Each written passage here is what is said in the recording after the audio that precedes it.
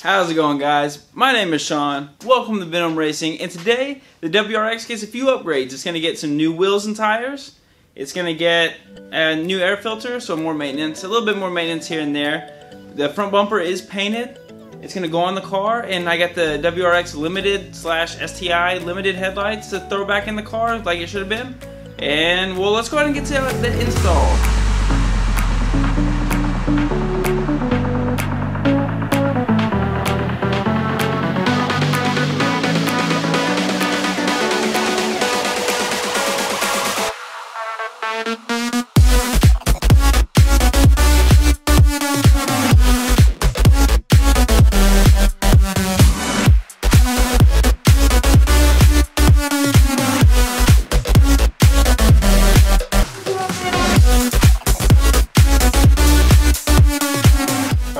Here shows you the difference between the limited and the base model, how much brighter the limited is compared to the base model.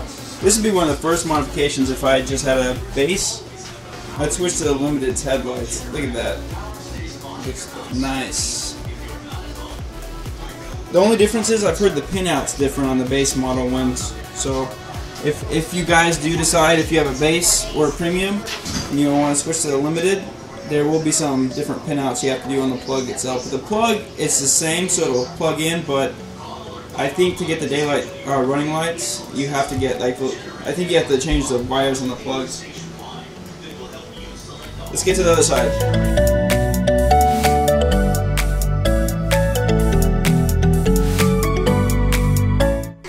Here's the front bumper, guys. All painted. How does it look?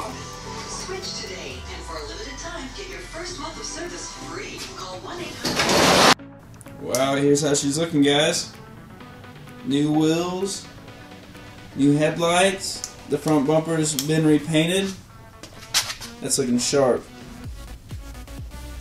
Alright guys, that's going to go ahead and wrap up today's video. As you can see right behind me, we went with the STI BBS forged wheels. I feel like those are great looking wheels. I eventually will sand them down and paint them bronze just because you get that classic Subaru look.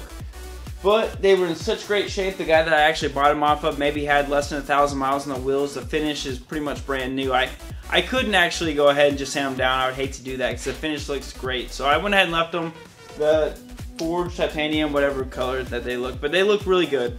I went with the Hankook uh, Ventus Evos. The reason being is because I wanted something with a little bit uh, more tread wear versus like my favorite tire, the RE71Rs. Those are great, but since this is going to be my daily driver and I'm going to be probably putting at least 300 miles on it a week, I wanted some tires that would last a little bit longer but still give me a little, little bit of grip.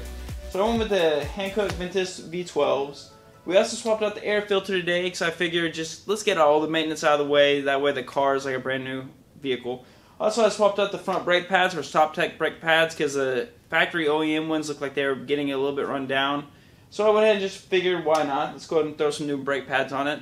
We also swapped out the headlights for the limited headlights, which in my opinion look 10 times better. I'm glad I did that. And if you have a base model or premium model WRX, the clip is the same like I was saying earlier in the headlight, but I think the actual wiring pinout is a little bit different. So there's probably forums out there in the form or in the WRX forums that actually give you a little bit more information on how to do that, but it's a mod I would highly recommend. Another thing we did today was was that it? Oh yeah, we threw the front bumper back on after since we reshot it. So the car is gonna get back together. I'm actually gonna start driving it today, and I'm gonna try to get all the kinks out of it. And there's a few more parts on the way for this WRX. So guys, stay tuned. Y'all might, I mean, go ahead and look forward to it because it might be something from Cobb, something that every WRX owner has or was planning on getting. I, that's enough hints right there. So Go ahead and like this video, subscribe for more, and we'll see you guys in the next one.